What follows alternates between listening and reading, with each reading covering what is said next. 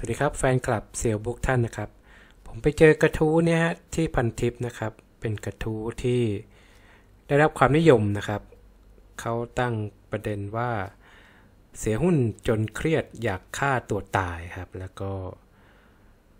เขาขยายความว่าหลังจาก 2 วันที่ผ่านมาขาดทุน 7 0 0แสนทำใจลำบาก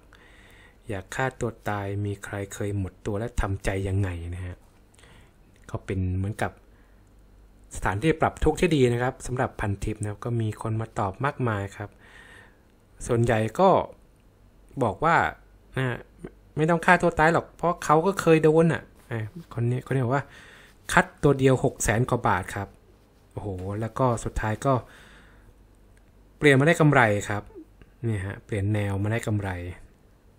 อีกครั้งหนึ่งได้เอาคืนได้นะครับ คนนี้ก็บอกว่านะครับ เคยครับ ตอนที่เล่นหุ้นใหม่ๆเนี่ย โดนไป5 0 0แสนเครียดนอนไม่หลับเหมือนกัน แต่ว่าเวลาเยียวยาทุกสิ่งครับเนี่ยเออดีนะเขาไม่คิดฆ่าตัวตาย แต่ว่าเขาก็ให้เวลาเยียวยาทุกอย่างนะจนเดี๋ยวนี้ชินครับ ชินตอนแรกขาดทุน5 0 0แสนช่วงแรกนะ ก็นอนไม่หลับไปหลายคืนนะ แต่ว่าตอนเนี้ย ขาดทุนวันหนึ่งเป็นแสนเฉยๆแล้วเงินเท่าไหร่วะเนี่ยโอ้เงินน่าจะเป็นร้อยล้านมั้งนะฮะนะฮะอีกคนนึงก็บอกว่านะฮะเคยขาดทุนเจ็ดแสนนะฮะ แล้วก็ทยอยขายทุกวันครับ จนเหลือขาดทุนวันละแสนกว่า แต่เออว่ามุมมองก็ดีนะ เจ็บปวด แต่ชีวิตต้องไปต่อ คิดหาสาเหตุว่าเหตุผิดเพราะอะไร จะได้ลงทุนได้ดีขึ้นกว่าเดิม เออ นี่ดีว่าไม่เซ็ตดีมากครับนะผมเองก็ไปมีคนหนึ่งก็บอกว่านะ คัดตอนลงไป 50%โอ้โห แต่ว่าเขาก็เสียใจนะ คัดไปแล้ว ถ้าไม่ขายคงกลับมากำไรเกิน 300%เลยวันนี้นะ ก็เป็นประสบการณ์ที่เสียใจอาการ ตัดขาดทุนประมาณนี้เนาะคนนี้บอกว่าผมลงทุนปีแรกขาดทุน 6 0 0แสนนะแต่ไม่เคยท้อพยายามที่จะยืนอยู่ในตลาดให้ได้ หาความรู้นะครับ แล้วก็หาสังคม ตอนนี้ก็ เริ่มน่าจะเริ่มกลับมาดีนะฮะ ทุกอย่างจิตใจดีแล้วก็ อืม แล้วก็ทุกอย่างดีแล้วมั้งนะฮะ ผมเองก็ไปไปตอบเหมือนกันนะ ผมไปตอบ เอ้ยคนเนี้ยบอกว่าเขาขัดติดดอย เข้ามาตลาดขาดทุน3 0 0แสนกว่า ยังมีดอยอยู่ 90%ยอด 6 หลักหูหน่วย 10ร้อยพันหมื่นแสนล้าน แสนแสนเป็นแสนไปนะฮะโหดมากเลยนะฮะ ผมเองก็ไปไปช่วยตอบเหมือนกันนะ คือแต่ผมก็ไม่ได้เอาประสบการณ์เองหรอกเพราะผมเองก็ไม่ได้ไม่ได้ ไม่ได้เคยเจอการขาดทุนหนักจนกระทั่งเสียเรียกขนาดนั้นนะ ผมไปเอาประเด็นที่ที่เอามาจากหนังสือ เออคนนี้บอกว่ากำไรขาดทุนตัดขาดทุนไปล้านเจ็ดครับล้านเจ็ดแสนเก้าหมื่นสี่พันครับ หนักกว่าหนักกว่าเจ้าของกระทู้นะฮะก็เนี่ยคนเข้ามาให้ความเห็นมากมายครับนะฮะ ซึ่งเป็นผมว่านะถ้าใครที่ถ้าใครที่ขาดทุนหนักๆเนี่ยแล้วก็รู้สึกรู้สึกจิตตกเนี่ยเข้าไปอ่านนะครับ จะได้กำลังใจว่ามันความจริงแล้วผมว่าผมยังเชื่อนะว่าคนส่วนใหญ่ในตลาดหุ้นเนี่ย ขาดทุนครับ มีน้อยมากครับที่ได้กำไร และ ผมก็ยังคิดว่าส่วนใหญ่เนี่ยจะเป็น การฟลุกมากกว่านะ ผมเคยจำคลิปหนึ่งใช่ไหมที่ว่า เข้ามาด้วยความฟลุกแล้วก็ทำซ้ำไม่ได้ครับทำซ้ำไม่ได้ ปัญหาคือเราสามารถฟลุกได้ครั้งหนึ่งครับ ครั้งสองครั้งในช่วงตลาดขาขึ้นนะแต่ว่าถ้าตลาดขาลงนั่นเนี่ยนั่นแหละครับ มันจะเอาคืนครับ แต่ทีนี้ก็ไม่ได้แช่งนะแต่ว่าต้องพิสูจน์ตัวเองไปเรื่อยครับให้เวลานะไม่ใช่เทรดว่าเทรดแค่ปีเดียว แต่ผมเองนะ ถ้าคุณเทรดปีเดียวได้กำไรโตเป็นระดับ สิบเท่าร้อยเท่านะ ผมว่าคุณเลิกไปเถอะ แต่ผมว่าเลิกไม่ได้ครับ เพราะว่าการเทรดการพนันครับ คุณอยากได้มากกว่าเดิมครับดังนั้นเมื่อคุณอยากได้มากกว่าเดิมแหละ มันจะพิสูจน์ว่าคุณจะรักษาเงินต้นนั้นได้หรือเปล่า แล้วก็คุณจะทำเพิ่มได้ไหมหรือว่า คุณจะปล่อยให้มันกลับกลับคืนสู่ตลาดเหมือนเดิมนะนี่นี่เป็นความท้าทายคนนะครับ ผมเคยเผมไปให้คอมเมนต์ เกี่ยวกับเรื่องนี้ว่านะฮะ ผมยกประเด็นของคุณมาร์คดักลาสที่เขียนไว้ในหนังสือ Discipline Trader นะครับ เขาบอกว่าคนนี้นะเขาผมเคยทำคลิปมาแล้วล่ะ ก็บอกว่าเขาเขียนในหนังสือว่าเขาเนี่ยเคยหมดตัวครับ จนกระทั่งอยากฆ่าตัวตายเหมือนกันเขาบอกว่าการสูญเสียในครั้งนั้นน่ะมันทำให้ความเชื่อมั่นผมหายไปเลยนะ ผมไม่มีเครดิตเหลืออยู่ แต่ผมก็ยังไม่ยอมรับหรือเผชิญหน้ากับหลักฐานที่เกิดขึ้น โดยซึ่งหน้า สิ่งที่ผมทำนั้นคือโทษคนอื่น โทษสิ่งแวดล้อมนะครับนะตอนนั้นนะตอนที่เขาขาดทุนหนังเนี่ยเขายังไม่โทษตัวเองครับเขาเสียหน้าเสียหน้าเสียใจแล้วก็รู้สึกว่าความเชื่อมั่นหายไป แล้วก็ไม่กล้าเผชิญหน้า แล้วก็โทษชาวบ้านนะครับ ว่าเป็นด้วยเป็นต้นตอให้เขาขาดทุนนะครับ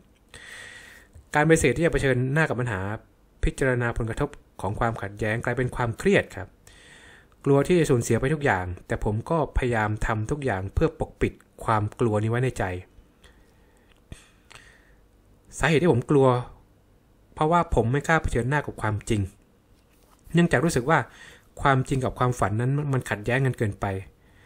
ฐานะทางการเงินของผมสูญเสียไปอย่างหนัก จนต้องตัดสินใจยื่นล้มละลายนะครับวันนี้นะ มีหลายอย่างในตัวผมที่เปลี่ยนไปเนื่องจากประสบการณ์นี้ ซึ่งคนเราต้องเผชิญหน้ากับการถูกบังคับให้เปลี่ยนในบางบางช่วงชีวิตเนี่ยมันสำคัญนะคือ ชีวิตคนเราอะ่ะมันต้องมีบางครั้งที่เราต้องถูกบังคับครับ ให้ต้องเปลี่ยนครับ เพราะว่าเนี่ยไอ้ช่วงชีวิตจังหวะที่คุณถูกบังคับให้ต้องเปลี่ยนแหละ คุณสามารถมองว่ามันเป็นเหมือนกับ คุณเดินลงเหวก็ได้หรือว่า คุณกำลังผ่านคุณกำลังเจอด่านทดสอบสำคัญเพื่อจะทำให้คุณเติบโตขึ้นครับนะสำคัญตรงนี้นะตรงเนี้ยว่าส่วนใหญ่เนี่ย พอลงเหวเนี่ย พอลงมาถึงหุบเหวเป็นความรู้สึกไม่ปลอดภัยนะนะ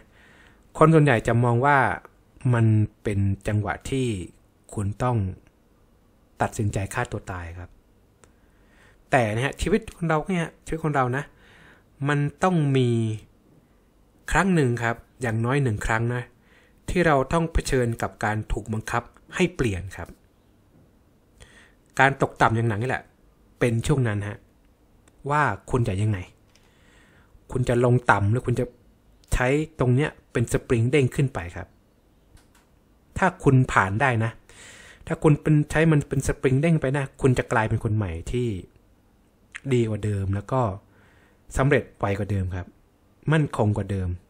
ยิ่งใหญ่กว่าเดิมครับ นี่เป็นสิ่งที่แยกแยะครับ และคุณมาร์คดักลาสก็เช่นกันครับเขาบอกว่านั่นแหละ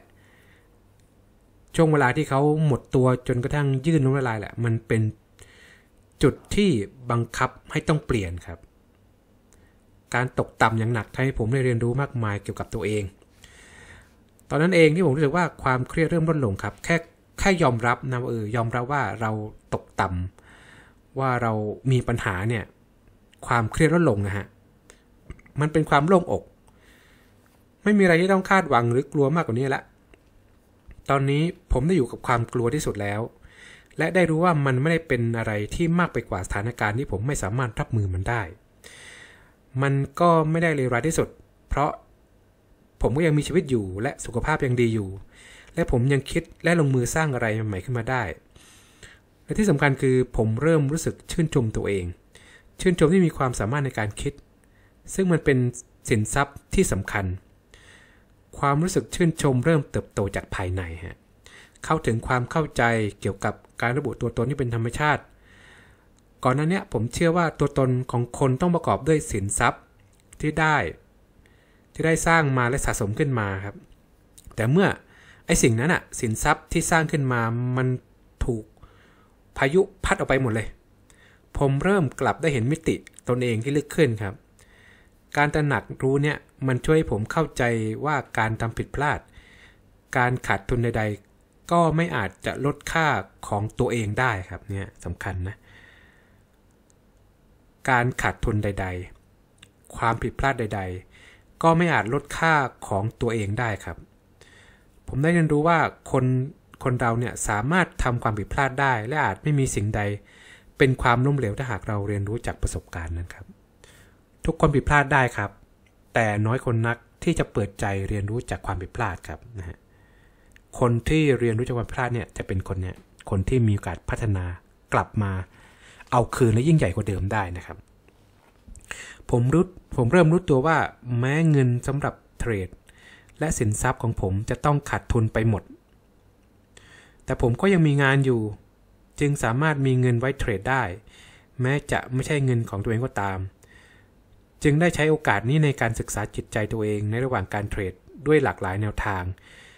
ที่ส่งผลกระทบ ต่อสภาพจิตใจที่แตกต่างกันไปครับ นี่เป็นสิ่งที่คุณมาร์คดักลาสเขียนในหนังสือ The Discipline Trader นะครับ เล่มนี้ยังไม่แปลเป็นไทยนะครับ ก็เป็นของฝรั่งนะครับนี่ฮะดังนั้นเนี่ยนะฮะการขาดทุนเนี่ยโอเคละเสียแล้วเสียไปเนาะไม่เป็นไรก็ คุณยังมีสุขภาพอยู่นะครับ คุณยังคุณยังมีแข็งแต่ผมว่าคุณมีงานอะ คุณมีงานทำอยู่เนี่ยก็นะฮะกลับไปซะว่าสิ่งสำคัญสุดคุณคืออะไรครับ คือคือตัวคุณครับ ตัวคุณแหละ เป็นสินทรัพย์ที่ใหญ่สุดครับ ถ้าคุณยังมีความสามารถในการหาเงินอยู่นะ เงินหายไปได้ครับ แต่ว่าความสามารถคุณนั้นยังคงอยู่ ผมเคยเป็นนะช่วงหนึ่งนะที่ผมก็มีจุดเปลี่ยนให้บังคับให้ต้องทำเหมือนกัน แต่ว่าไม่ใช่เรื่องการขาดทุนแล้วเป็นตอนที่แม่ผมเป็นมะเร็งครับระยะสุดท้าย ผมตัดสินใจที่จะพาเข้าโรงพยาบาลเอกชน เป็นโรงพยาบาลที่เขาดูแลเรื่องมะเร็งโดยตรงเลยครับ ผมก็ปรึกษาหมอว่า ผมมีเงินอยู่ล้านหนึ่งขายหุ้นหมดเลยนะ ขายหุ้นที่ผมมีหมดเลย ได้เงินมาก้อนหนึ่งมาล้านหนึ่งบอกเขาว่า ผมมีเงินล้านหนึ่งหมอรักษา แม่ผมได้ไหมหมอบอกก็ได้ ผมก็โอเค ผมก็ถอนเงินหมดเลย ขายหุ้นทิ้งหมดเลย เอาเงินมารักษาแม่ผม ตอนนั้นผมไม่รู้สึกเสียใจสักนิดเดียวเลยครับ ว่าเงินหนึ่งล้านนั้นอะผมเอาไปเพื่อจะรักษาแม่ ไม่รู้ว่ารักษาแล้วจะรอดไหมแต่ผมคิดว่า มันเป็นสิ่งที่ผมต้องทำทำไมผมกล้าทำอย่างนั้นด้วยผมไม่เสียดายเลยเพราะผมคิดว่า ตัวผมเองนั้นมียังมีความสามารถในการหาเงินอยู่ แต่แม่ผมมีแค่คนเดียวไงผมยังเป็นต้องเอาใช้เงินเนี่ยยื้อชีวิตแม่ให้ได้เนี่ยนี่เป็นสิ่งที่ผมทำนะซึ่งมันก็อาจจะแตกต่างจากคุณนะที่ว่าคุณ คุณเสียเงินไปการขาดทุนแต่ผมก็เสียเงินไปเพื่อการรักษาแม่นะแต่ว่าอย่างน้อยอะมันมีคอมันมีแก่นหนึ่งที่สำคัญคือ คุณต้องมีความศรัทธาตัวเองครับ โดยเฉพาะความศรัทธาในความสามารถในการหาเงินคุณคุณต้องรู้ว่าคุณเนี่ยมีความเก่งอะไรและคุณสามารถทำเงินแน่ๆแค่แค่คุณยังมีสุขภาพที่ดีอยู่คุณยังมีความแข็งแรงอยู่เนี่ยเงินนะครับ เงินสินทรัพย์เราเป็นสิ่งที่เราควบคุมไม่ได้ครับ มันหายไปได้ครับ แต่ว่าถ้าตัวเรายังแข็งแรงอยู่ เรามีทัศนคตินักติที่ดี มีความสามารถที่ดีนะ เรามีแวดวงเรามีเอ่อเรียกว่าคอมมูนิตี้ที่ดีนะ เราสามารถหาเงินใหม่ได้ครับ ดังนั้นเนี่ยอย่าได้ไปแคร์มากนักเงินที่หายไปครับ แต่จงแคร์ว่า คุณมีความสามารถในการหาเงินหรือเปล่านะฮะสำหรับคนที่ เป็นมือใหม่นะครับ แนะนำให้ให้ไปอ่านกระทู้นี้ดูนะ แล้วก็ พยายามครับ พยายามที่จะ เจียมตัวนิดหนึ่งฮะ ผมวันนี้ไม่ดูเพราะว่าเนี่ย ถ้าพยายามอย่าให้ขาดทุนเกิน 10%ครับ เอาคืนง่ายครับ เหตุผลด้วย ถ้าคุณปล่อยให้มันมากขึ้นนะ ถ้าขาดทุน ถ้าพอร์ตพังไปพอร์ตเสียหายไป 40%เนี่ย คุณต้องทำคืน 60 เลยนะ ติดลบไป 50%ทำคืน 100%นะมันยากเกินฮะ หนึ่งนะจำกัดการขาดทุนให้เกิน 10%ก่อน ขายได้ขายทิ้งไปเลยครับ เพราะว่า การที่คุณขาดทุนนั้นแสดงว่ามันมีปัญหาครับ มีปัญหาอะไรก็อยากได้อย่างหนึ่งครับ ซึ่งมาจากตัวคุณฮะ คุณต้องคุณต้องตัดสินใจผิดอะไรสักอย่างครับ ขายไปก่อนฮะ อย่ามีอีโก้ครับ ขายไปก่อน เอาเงินสดเก็บไว้ก่อนครับ เพราะว่าถ้าคุณปล่อยให้มันลุกลามนะ เอาคืนยากครับหนึ่งนะ ที่สำคัญว่าสำคัญคือช่วงแรกอย่าเพิ่งเอาเงินก้อนใหญ่มาลงครับ สมมติคุณมีเก็บเงินเก็บมาล้านหนึ่งเนี่ยแบ่งมาหมื่นสองหมื่นก่อนมาทดลองเรียนรู้ตัวเองแล้วเนี่ยฉันเหมาะไหมเนี่ยการเทรดฉันเหมาะกับสไตล์ไหนดี ไม่ใช่ว่าโอ้โหความรู้เป็นศูนย์แต่มีเงินเป็นล้าน เอามาลงทุนก็หายหมดครับ เอามาเข้าครั้งเดียวก็เจ๊งเหมือนนะผมว่านะทำความรู้ให้มันควรค่าแก่การควบคุม ความรู้ที่ควรค่าแก่การบริหารจัดการเงินก้อนนั้นก่อน ค่อยลงเงินให้พอครับนะถ้าคุณความรู้น้อยก็ใช้เงินน้อยก่อนฮะเป็นสิ่งที่ดีครับ เจียมตัวครับสำคัญที่สุดเจียมตัวครับสำคัญที่สุดนะผมเองก็นี่ช่วงแรกผมก็โดนเหมือนกันนะผมโดนไปหลายแสนเหมือนกันนะประมาณสักสามสี่โอ้หลายแสนอะผมว่า ผมเคยทำอันนี้อยู่ทำคลิปให้ดูอยู่ครับ คือ ผมโดนกับหุ้น หุ้นเสร็จสลึงครับเละเทะฮะขาดทุนหนักมากมายครับ แล้วก็ ผมตัดขาดทุนครับ ล้างพอร์ตเลย แล้วเริ่มต้นเป็นคนใหม่ ด้วยสไตล์ใหม่ครับ แล้วก็ทุกอย่างก็ค่อยๆดีขึ้นมาเรื่อยๆนะครับตอนนี้ก็ผมก็เริ่มรอดละ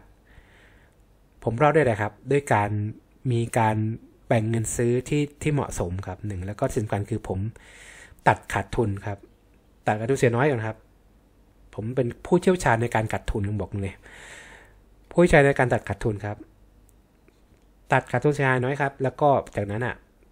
ถ้าจังหวะดี ได้หุ้นถูกตัวเนี่ย ผมจะเพิ่ม position size ไปเรื่อยครับ แต่ถ้าหุ้นตัวไหนที่ มันเป็นผู้แพ้ผมจะขายทิ้งทันทีครับ ผมไม่วอลไวทั้งสิ้นครับ เพราะว่าผมเชื่อแล้วว่าเงิน เงินทับใหญ่ผมต้องต้องต้องอยู่รอดต้องมั่นคงครับ ต้องต้องต้อง ต้องอยู่รอดและต้องเป็นแบ็กอัพให้ผมที่ดีได้ครับ ผมจะไม่ให้เงินทั้งก้อนผมเนี่ย เงินส่วนใหญ่ผมไปติดหุ้นเด็ดขาดครับ เนี่ยนี่เป็นกลยุทธ์ที่ผมใช้ในการเอาตัวรอดในปัจจุบันนี้นะครับ ก็เป็นไอเดียเป็นกำลังใจนะครับ เจอกันคลิปหน้าสวัสดีครับ